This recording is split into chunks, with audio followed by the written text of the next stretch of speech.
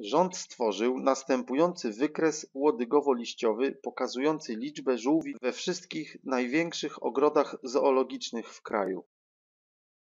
Ile ogrodów miało mniej niż 46 żółwi? To, co nam ten wykres łodygowo-liściowy pokazuje, to w tej pierwszej kolumnie, w kolumnie zwanej łodygą, pokazuje pierwszą z lewej cyfrę z każdej liczby żółwi. Można nazwać tę kolumnę kolumną dziesiętną. A w tej prawej kolumnie znajdują się cyfry z pozycji jedności z każdej liczby. Czyli jest jedno zo, które ma 4 żółwie. Te dwie cyfry to liczba 0,4, czyli 4 żółwie. Dla tych wszystkich liczb cyfrą dziesiątek jest jedynka, czyli to jest tak naprawdę 11, to jest 14, to jest 16, 16 jeszcze raz i tak dalej, 17, 18, to jest 23, to jest 23, tu mamy pozycję dziesiątek, to jest pierwsza z lewej cyfra tych czterech wyników i tak dalej. No to odpowiedzmy na pytanie, ile ogrodów miało mniej niż 46 żółwi. Nie ma żadnego zo, które miałoby jakąkolwiek liczbę żółwi powyżej 40.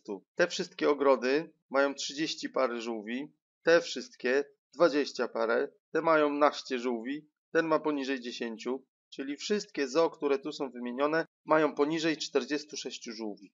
No to liczymy. 1, 2, 3, 4, 5, 6, 7, 8, 9, 10, 11, 12, 13, 14, 15, 16, 17.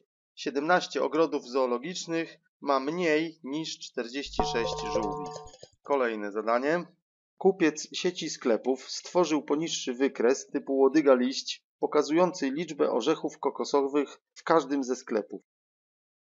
Jaka była najmniejsza liczba kokosów w pojedynczym sklepie? Szukamy sklepu któregokolwiek, który miał najmniej kokosów. Najmniejsza liczba na tej planszy to ta, Pamiętajcie tylko, że to nie jest 2, tu mamy kolumnę dziesiątek dla całego tego rzędu i w kolumnie dziesiątek mamy jedynkę. Z tą dwójką to razem 12. W tym sklepie jest 12 orzechów. Najmniejsza liczba orzechów kokosowych w sklepie to 12. Następne proszę. Statystyk sieci sklepów jubilerskich rozrysował następujący wykres łodygowy pokazujący liczbę zegarków w każdym ze sklepów sieci. Ile sklepów miało dokładnie 7 zegarków?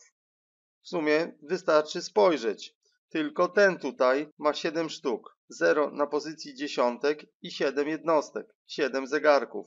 Ten sklep i ten sklep to nie są siódemki, bo w tym sklepie jest 17, bo siódemka znajduje się w rzędzie z jedynką na początku po lewej, to 7 tutaj reprezentuje 27, bo znajduje się w rzędzie z dwójką na początku. Czyli jest tylko jeden sklep w tej sieci, w którym jest dokładnie 7 zegarków. Odpowiedź brzmi, jest jeden taki sklep.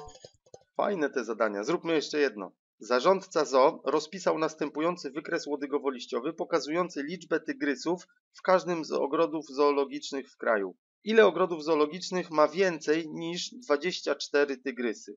Możemy zignorować rząd z zerem z przodu. Możemy też pominąć naście tygrysów w tych zo. Zatrzymamy się przy tych trzech dwudziestkach. To jest 25, czyli mieści się w kryteriach naszych poszukiwań. Jest większe niż 24. Dalej mamy 28, 29. Wszystkie te kolejne liczby spełniają nasze warunki. Są większe od 24. Te też i te też. To tutaj nie oznacza zera tygrysów to jest 30 tygrysów. Tak samo jak to nie jest 0, tylko 40 tygrysów. No to liczymy. 1, 2, 3, 4, 5, 6, 7, 8, 9. 9 zo ma ponad 24 tygrysy.